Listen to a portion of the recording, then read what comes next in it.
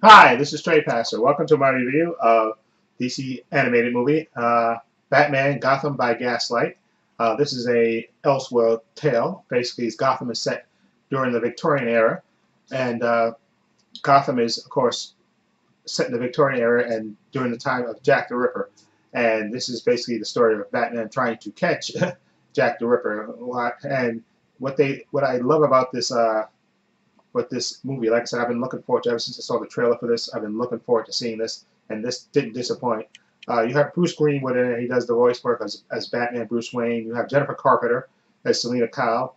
Uh, you have uh, uh Anthony Head as Alfred. Yeah, and what I liked about this story is that they they I like the way they transported the characters, certain characters into you know the Victorian era and stuff. You have uh, you know Commissioner Gordon, of course. You have Harvey Bullock in this. You have Alfred, of course. You have uh, uh, Hugo Strange. You have uh, Selina Kyle, Barbara Gordon, uh, Alfred Penny. You know, and then you have you have Bruce. You have uh, uh, Dick Grayson. You have uh, uh, Tim and Jason and Jason. You know, all of all the Robins in this. They're in this story as well. And again, like I said, it's you know it's set during the Victorian era, and of course Bruce Wayne is a rich guy. You know, he's still the same character, but you know, set during Victorian era.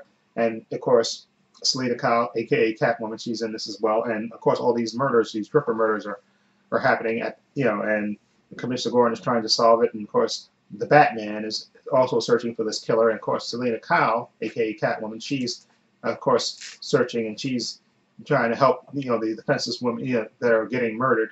She's trying to help as well. And what I really liked about this, this you know, it's it's really violent. You know, they don't shy away from the violence in this. Of course, because it's dealing with Jack the Ripper.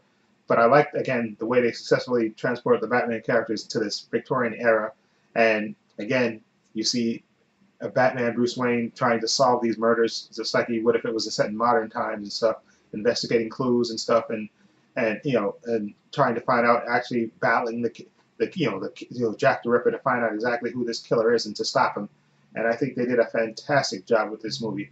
It is really uh, one of the better DC animated movies. I really, really enjoyed this a lot. Uh, again, I love the way they just transport the characters, same characteristics to the uh, Victorian era with you know the Batman and, and Alfred and Selina Kyle, Poison Ivy. You know, you got the three Robins characters in this. You got Commissioner Gordon, Harvey Bullock. I just love the way that Harvey Dent is in this as well, and the way it plays out is just beautiful. I mean, the animation is fantastic. Again, this Jack the Ripper character is he's deadly. He's not just a normal psycho. He he can battle Batman, and he really does actually give Batman a, a run for his money.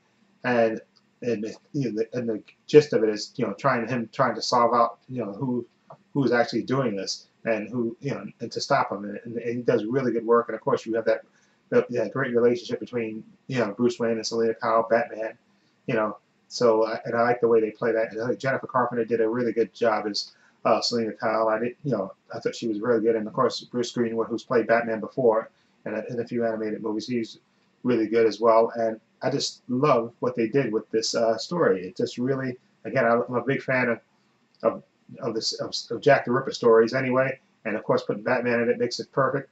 And it just really, uh, really was uh, well done. And I really liked it, and I'm glad that they didn't skip on the violence and stuff, and and really show through this movie. And you really, again, uh, you know, I love the way uh, it played out. Okay, and it really uh, uh was one of the better animated movies, and I definitely would give this movie. An, I'm to give this movie an 8 out of 10. It's one of the better DC animated movies, and definitely I highly recommend it, and definitely pick it up. Okay, it's based on a graphic novel, and they did a really good job adapting this and I really, really enjoy this. I can't recommend it enough. An 8 out of 10 for me. Anyway, let me know what you think of Batman Gotham by Gaslight. What do you think of it?